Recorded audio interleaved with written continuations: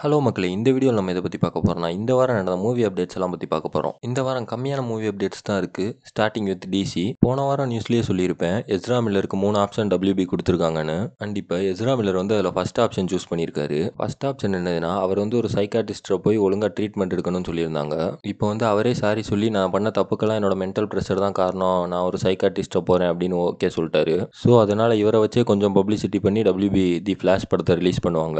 And mental pressure பற்றி பேசி பேசிக்கிட்டு இருக்கும்போது டாம் ஹாலண்டும் சோஷியல் மீடியா சைட்ஸ்லேருந்து கொஞ்சம் பிரேக் எடுக்கிறாரு. இதுக்கு அவர் கொடுக்குற ரீசனும் மென்டல் பீஸ் வேணுங்கிறது தான் ஏன்னா ஆல்ரெடி நோவே ஹோமன் நடிச்சதுக்கப்புறம் மூவிஸ்லேருந்தே கொஞ்ச நாள் பிரேக் எடுத்திருந்தாரு. இப்போ சோஷியல் மீடியாலேருந்தும் கொஞ்ச நாள் பிரேக் எடுத்திருக்காரு. நமக்கு கூடிய சீக்கிரம் ரிட்டன் ஆகி ஸ்பைடர்மேன் ஃபோர் வந்தால் போதும். அண்ட் ரெண்டாவது நியூஸ் என்னன்னு பார்த்தோம்னா இந்த வருஷம் தி பேட்மேன் அப்படின்னு ஒரு படம் ரிலீஸ் ஆயிருந்துச்சு. அந்த படத்தை வந்து மேட்ரிஸ் டைரக்ட் பண்ணியிருந்தாரு. அண்ட் அந்த படத்தை வந்து என் காமிக்ல இருந்து தான் காப்பி அடிச்சிருக்காங்க அப்படின்னு கிறிஸ் வாஸ்னியாக் அப்படிங்கிறவர் வந்து கம்ப்ளைண்ட் பண்றாரு. இது அவர் சில ப்ரூஃப்ஸ் எல்லாம் சப்மிட் பண்ணி அவர் ப்ரூவ் பண்றாரு. ட்விட்டர் ஃபுல்லாக இதை பற்றி தான் பேசிக்கிட்டு இருக்காங்க. பட் எனக்கு தெரிஞ்சு இது வந்து ஒரு காப்பி இல்லை. ஏன்னா தி பேட்மேன் படம் வந்து எந்தெந்த காமிக்ஸ்லேருந்து இன்ஸ்பயர் ஆயிருக்கேன் அப்படிங்கிறதெல்லாம் மேட்ரிவ்ஸே சொல்லியிருப்பாரு. மோஸ்ட்லி இந்த படம் வந்து தி லாங் ஹலோவின் அப்படிங்கிற காமிக்கை பேஸ் பண்ணி தான் எடுத்திருக்காங்க. ஸோ என்னை பொறுத்தவரையா மேட்ரிவ்ஸ் வந்து யாரை பார்த்தும் காப்பி பண்ணலை. அண்ட் நெக்ஸ்ட் டிசியோட சூசைட் ஸ்குவாட் படத்தில் இட்ரிஸ் எல்பா அப்படிங்கிறவர் வந்து பிளட் ஸ்போர்ட் அப்படிங்கிற ரோல் பண்ணியிருப்பாரு. அவரோட பீஸ்ட் படம் இந்த வாரம் ரிலீஸ் ஆயிருக்கு. அதுக்கான பல இன்டர்வியூ அட்டன் பண்ணும்போது நீங்கள் டிசியில் நெக்ஸ்ட் எந்த ப்ராஜெக்ட்டில் வருவீங்கன்னு கேட்டிருக்காங்க இன்டர்வியூவர்ஸ் ஜேம்ஸ் கன் வந்து இவருக்காண்டி ஒரு தனி சீரிஸ் ரெடி பண்ணிட்டு இருக்காராம் அண்ட் இவரோட ஆசை வந்து பிளட் ஸ்போர்ட் வர்சஸ் சூப்பர்மேன் காட்டணுங்கிறது தான். சூசைட் ஸ்குவாட் படத்திலே சொல்லியிருப்பாங்க. சூப்பர்மேனை கிரிப்டனைட் புல்லட்டை வச்சு சுட்டுட்டான் அப்படின்னு. அதை படமாக கொண்டு வரதான் இவரோட ஆசை. வந்தால் நல்லா தான் இருக்கும். ஏன்னா சூப்பர்மேன் வந்து ஒரு காட்லி கேரக்டர் இவர் வந்து ஒரு சாதா ஹியூமன் தான். ஆனால் மோஸ்ட்லி இது வராதுன்னு தான் நினைக்கிறேன். ஏன்னா டிசி வந்து அவங்க ஃபியூச்சரை பில்ட் பண்ணுறக்கான்னு ஏற்கனவே ஆல்ரெடி பல பிளான் வச்சிருக்காங்க. அதில் கண்டிப்பாக இது இருக்குமா இல்லையான்னு தெரில மோஸ்ட்லி இருக்காதுன்னு தான் எதிர்பார்க்குறேன். அண்ட் மார்வல் சைடு வந்தோம்னா மார்வலோட ஷீ ஹெல்க் அப்படிங்கிற சீரிஸ் ரிலீஸ் ஆயிருக்கு. இந்த சீரிஸ் வந்து ஆடியன்ஸ் கிட்ட ஒரு மிக்சடு ரியாக்ஷன் தான் கிடச்சிட்டு இருக்கு ஏன்னா இது வந்து ஒரு காமெடி சீரிஸ். ஒரு சில பேருக்கு அந்த காமெடி ஒர்க் அவுட் ஆகுது ஒரு சில பேருக்கு ஆக மாட்டேங்குது. பட் எனக்கு பர்சனலாக இந்த சீரிஸோட ஃபர்ஸ்ட் எபிசோட் பிடிச்சிருந்துச்சு. அண்ட் இந்த ஃபர்ஸ்ட் எபிசோட பார்த்தவங்க மறக்காம நான் அதோட பிரேக் டவுன் அண்ட் ரிவ்யூ போட்டிருக்கேன். செக் பண்ணி பாருங்க. ஏன் எனக்கு ரொம்ப பிடிச்சிருந்துச்சுன்னா இதுக்கு முன்னாடி வந்த மோஸ்ட் ஆஃப் தி சீரிஸில் வந்து எம்சியூக்கான ரெஃபரன்ஸ் இருக்காது அவ்வளவா. பட் இதில் வந்து நிறைய எம்சியூக்கான ரெஃபரன்ஸ் வச்சிருக்காங்க. அண்ட் நிறைய கேமியோஸ் இருக்கும் அப்படிங்கிறதையும் கன்ஃபார்ம் பண்ணியிருக்காங்க. ஸோ நான் செகண்ட் எபிசோடுக்காண்டி வெயிட் பண்ணிட்டு இருக்கேன். அண்ட் ஃபர்ஸ்ட் எபிசோடோட பிரேக் டவுன் பார்க்கணுங்கிறவங்க மறக்காம செக் பண்ணி பாருங்க. அண்ட் நெக்ஸ்ட் சோனியோட மேடம் வெப் படத்துக்கான ஷூட்டிங் படு பயங்கரமாக போயிட்டு இருக்குது இந்த படத்தில் வந்து யங் பென் பார்க்கரை காமிப்பாங்க அப்படின்னு சொல்லியிருக்காங்க.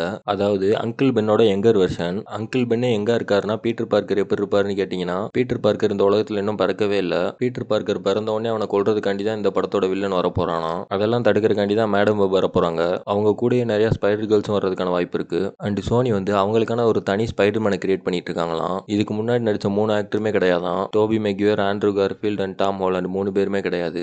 தனியாக யாரோ ஒரு புது கேஸ்டிங் போட்டு ஸ்பைடர்மேனாக கொண்டு வந்து ஸ்பைடர் வர்ஸை நோக்கி போகிறோம் அப்படின்னு சொல்லியிருக்காங்க. இவங்க ஸ்பைடர் வர்ஸ் பக்கம் போகிறதெல்லாம் தப்பு இல்லை. அதை வெனம் டூ அண்ட் மார்பியஸ் மாதிரி சொதப்பாமல் இருந்தாங்கன்னா சரிதான். அண்ட் அப்படியே ஹாலிவுட் சைடு வந்தோம்னா காட்ஜிலா வர்சஸ் காங் டூவோட சில செட் பிக்ஸ் எல்லாம் லீக் ஆயிருக்கு. அண்ட் அதோட ஒர்க்கிங் டைட்டில் ஆர்ஜன்ஸ் அப்படின்னு வச்சிருக்காங்க. அண்ட் இந்த படத்தையும் ஃபர்ஸ்ட் பார்ட் எடுத்த அதே டேரக்டர் தான் எடுக்கிறாரு. அண்ட் போன படத்திலேயே காங்க வச்சு தான் ஃபுல் ஸ்டோரியை மூவ் பண்ணியிருப்பாங்க. அதே மாதிரி இந்த படமும் காங்க பேஸ் பண்ணி தான் இருக்கும்னு சொல்லியிருக்காங்க. அண்ட் ஃபர்ஸ்ட் பார்ட்லேயே காட்ஜிலாவும் காங்கும் சமாதானமாகி போகிற மாதிரி தான் காமிச்சிருப்பாங்க. இப்போ இதுக்கு ரெண்டாவது படத்துக்கும் அதே பேர் வைக்கிறாங்கன்னா இது ஒரு மார்க்கெட்டிங் ஸ்ட்ராட்டஜியாக தான் இருக்கணும். அப்படி இல்லைன்னா வேற காட்சிலா இருக்கலாம் லைக் ஸ்பேஸ் காட்சிலா ஏன்னா போன படம் வந்து ஹீரோ வர்சஸ் ஹீரோ ஃபைட்டு அதனால மூணாவதா ஒரு மெக்கா காட்சிலா அப்படின்னு ஒரு வில்லனை கொண்டு வந்திருந்தாங்க.